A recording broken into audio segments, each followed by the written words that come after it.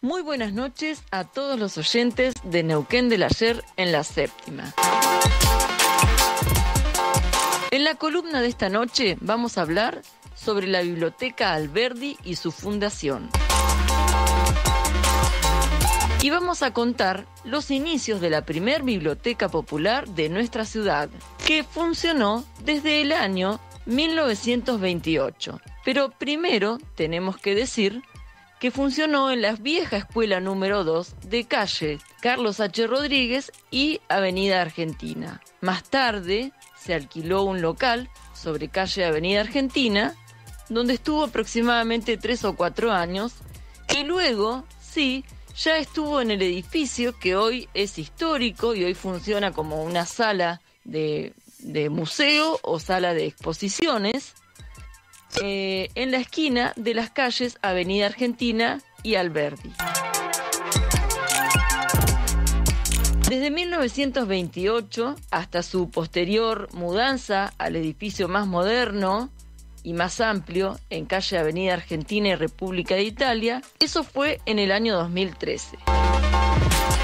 Esta biblioteca, la más emblemática de la ciudad, se creó y con ella una comisión para la organización de su funcionamiento.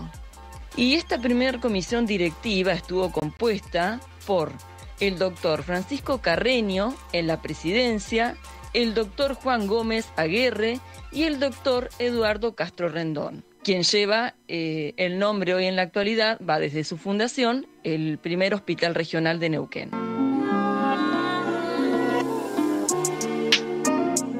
También la integraban la comisión los señores Carlos Sacio, Evaristo Lucero, Rafael Castilla y Evaristo Largui, Javier Salvador, la señorita Ernestina Eremita y en el cargo de bibliotecario estaba el señor Juan Greloni.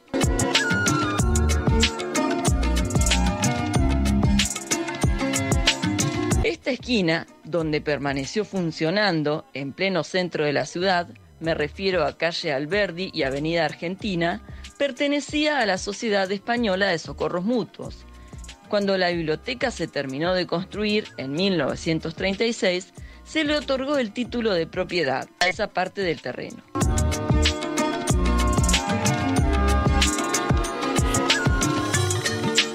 Y si nos ponemos a pensar, fue una esquina emblemática para todos los estudiantes de la pequeña ciudad de Neuquén de las décadas del 70, 80, 90, por lo menos desde lo que yo recuerdo de mi propia generación y relatos de personas de generaciones cercanas. Eh, quizás lo fue también, lo debe haber sido, obviamente, en décadas anteriores, como la década del 40, del 50, donde me imagino que muchísimos escolares eh, iban a consultar libros para eh, realizar las tareas eh, de las distintas asignaturas.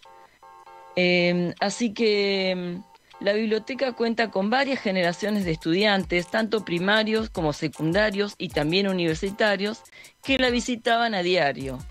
Eh, como experiencia propia lo puedo decir, más de una vez he ido a, buscar información allí, este, donde uno podía asociarse y retirar un libro o simplemente sentarse en una mesa y consultar para realizar las tareas encomendadas desde la escuela. Pero volviendo a su construcción edilicia, esta estuvo a cargo de la constructora Búfalo. Al momento de la construcción de este edificio, me refiero al antiguo, ¿no es cierto? Al, de al, al edificio del que estamos hablando hoy, no del nuevo edificio que se inauguró en el año 2013. Entonces decíamos que el presidente de esta comisión de la biblioteca era el doctor jurista Juan Julián Lastra, que también hay una calle que lleva su nombre, ¿no es cierto?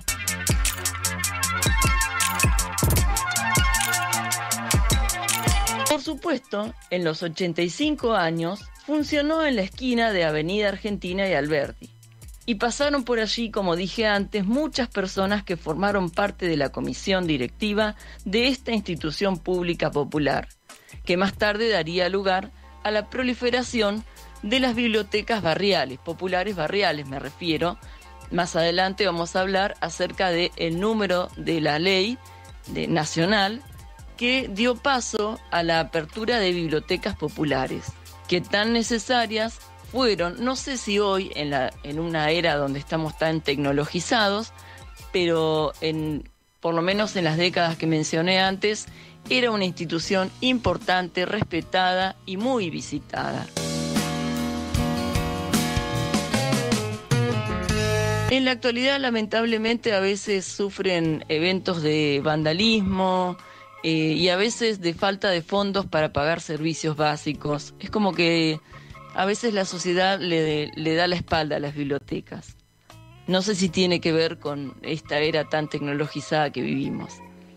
Pero bueno, como les decía, eh, hoy la nueva biblioteca está totalmente informatizada, acorde a los tiempos tecnológicos que vivimos. Pero desde sus inicios, cuando se invitó a los pocos vecinos de la ciudad a asociarse mediante el pago de una cuota mensual, el asociado o asociada formaba parte de los lectores, asiduos, consultantes de diversa bibliografía que se requería para las tareas escolares. Así es que cada quien tenía a su nombre una ficha de cartón con un número y sus datos personales, donde se registraban los títulos de los libros que se prestaban y también se podían retirar, como dije, temporariamente. Luego de un plazo estipulado, se debían devolver a la biblioteca. Y además, no solamente eran libros de textos los que se brindaban, sino también todo tipo de, de novelas perdón, y poesías, como lecturas de verano, por ejemplo. En lo que respecta a la ley que les mencionaba, que es la número 419, esta ley emana de la ley de creación de bibliotecas populares promulgada por Faustino Sarmiento durante su primer presidencia en el año 1870. Y esta acción se enmarca en el proyecto liberal de las tres primeras presidencias liberales.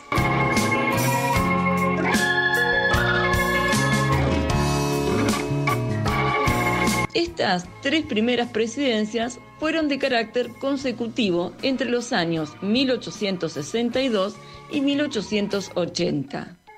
Son también conocidas en la historiografía argentina como las presidencias liberales protagonizadas por Bartolomé Mitre, Faustino Sarmiento y Nicolás Avellaneda, y tenían en común el proyecto de unificar al país y crear la nación.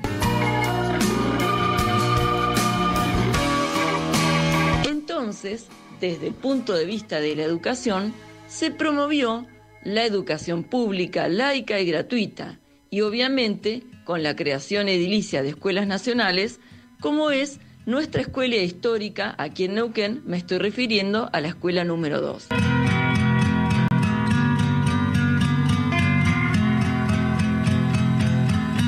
Bueno, pero volvamos a la Biblioteca Alberdi y a su creación. Y así nos preguntamos, ¿por qué se la bautizó con el nombre, con ese nombre? ¿Quién fue Juan Bautista Alberdi?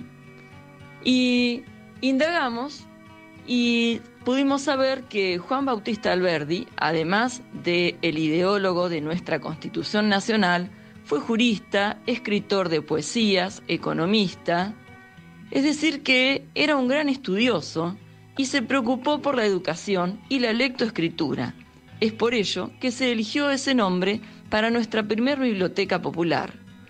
También recordemos que en el año 1936 nuestra ciudad aún era parte del territorio nacional. Esto quiere decir que dependíamos políticamente del poder central y por ello la ley de su creación es de carácter nacional y luego, más tarde, hacia la década de 1984, ya a nivel provincial, se crearían otras leyes que le darían lugar a la proliferación de nuevas bibliotecas, como dije antes, populares en los distintos barrios de Neuquén. Volvamos también al rol educativo que tuvo esta biblioteca como servicio que se brindaba a la pequeña población de aquellos años entre 1930 y 1960. Luego la ciudad Aunque fue creciendo y en los barrios se fueron creando bibliotecas populares, la Biblioteca Alberdi es la biblioteca con mayúsculas por lo completa y abarcativa en todos los géneros de las letras. Antes de la era digital, todo estudiante acudía a ella sabiendo que allí podía encontrar los ejemplares bibliográficos necesarios para realizar investigaciones escolares o simplemente buscar un libro de diversos géneros como novelas, policiales, de misterio, de divulgación científica, etc. Bueno, enciclopedias también, por supuesto, no nos olvidemos.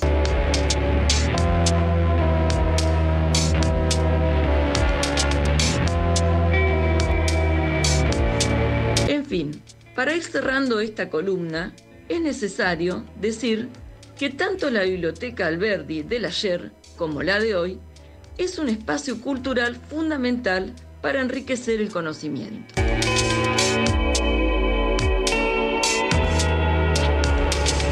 Creo que el libro como objeto, el libro de papel, es irreemplazable. Nos lleva a un ejercicio de la lectura, de la reflexión, nos permite ir y venir en el relato, señalar una página determinada, nos permite viajar a través de un relato, de un cuento, que podemos dejar y retomar en el tiempo libre o quizás nos atrapa tanto que nos sumergimos en él hasta la última página en poco rato.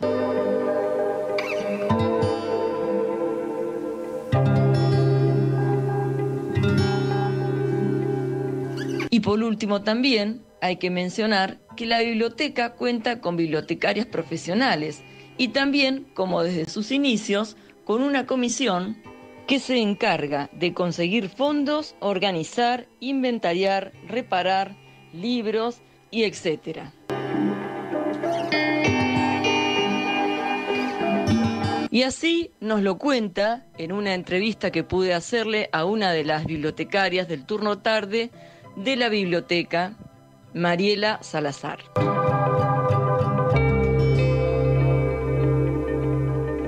Y Mariela me contaba que por la mañana también está su compañera, también como ella, bibliotecaria profesional, que se llama Erika Contreras, y también el grupo lo conforman otras profesoras que están en atención al público y pueden brindar ayuda y asesoramiento a los lectores por sus diversos conocimientos. Bueno, y ahora sí, para despedirme esta noche de esta columna, los voy a dejar con una pequeña entrevista que pude hacerle a esta bibliotecaria que les mencioné, que es Mariela Salazar. Muy buenas noches y hasta la próxima columna. La Biblioteca Popular Alberdi es una asociación civil sin fines de lucro.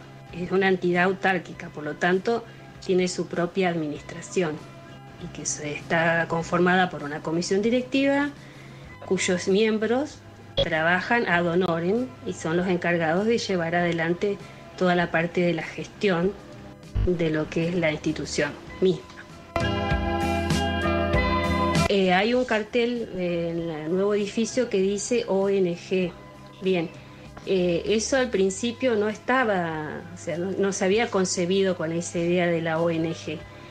Eh, fue un grupo de vecinos que se juntó en esa, fecha, el 10 de noviembre de 1928, para conformar esta biblioteca que hasta el día de hoy funciona, aunque en otro edificio. Y la idea de ellos era eh, que toda la comunidad de Neuquén pudiera acceder al conocimiento, pudiera estar eh, a su alcance todo tipo de libros para promocionar la lectura, para promover la cultura, para que bueno, para que todos pudieran tener este, esa posibilidad eh, más allá de que algunos tuvieran sus propios medios, que eran los menos en ese entonces.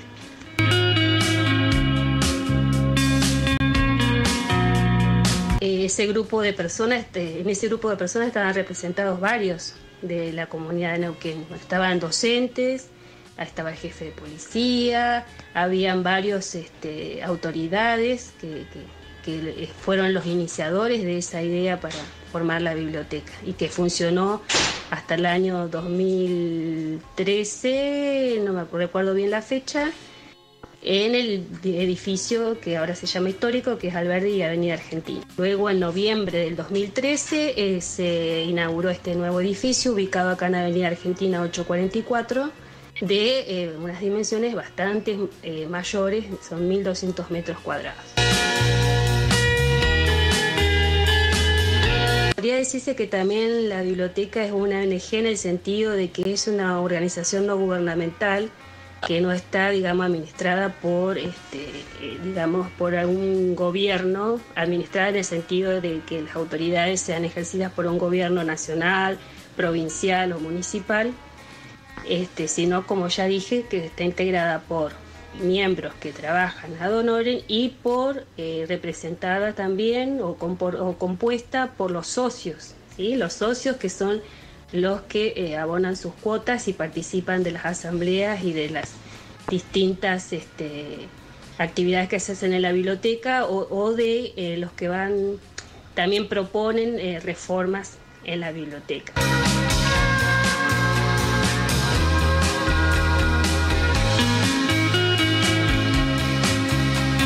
En cuanto a los recursos, la Biblioteca Alberdi, como todas las bibliotecas populares, más allá de que tengamos este edificio tan enorme y bonito es el tema de los costos, lo que implica eh, mantener este edificio.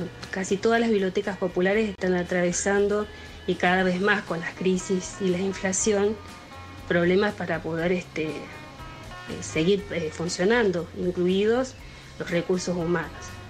Entonces, la biblioteca, en este caso la biblioteca Alberdi, cuenta con las cuotas de los socios, cuenta con, eh, gracias al edificio histórico que, quedó y que, es propiedad de la institución, cuenta con el alquiler de ese edificio, que allí funciona el Centro Cultural Alberdi, eh, y que eso eh, lo abona la provincia, con recursos del IJAN, que es una institución que es la de juego de azar, que a varias bibliotecas también eh, colabora con sus aportes y gracias a las donaciones de distinto tipo que la biblioteca recibe, además de pequeños eh, aportes individuales que personas particulares también colaboran y más han colaborado con esto de las facturas también en algún caso.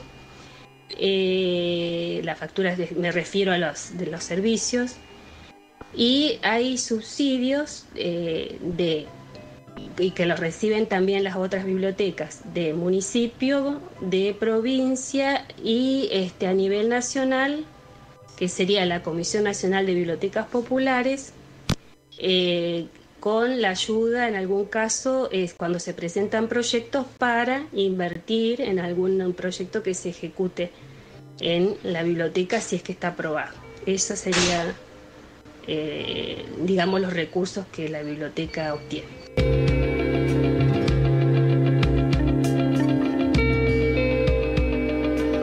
Bueno, y ahora sí, luego de lo que nos contaba la bibliotecaria Mariela Salazar, tengo que hacer una fe de ratas con respecto a el nombre de quien fuera el primer bibliotecario de esta biblioteca que estamos citando esta noche. Eh, que se llamaba Julio Argentino Greloni y no Juan como dije yo. Este dato lo obtuve a través de su sobrina, eh, que es familiar mío, y a quien consulté y me dijo que no, que el nombre real era Julio Argentino. Así que ahora sí, muy buenas noches, hasta la próxima columna y espero que les haya gustado.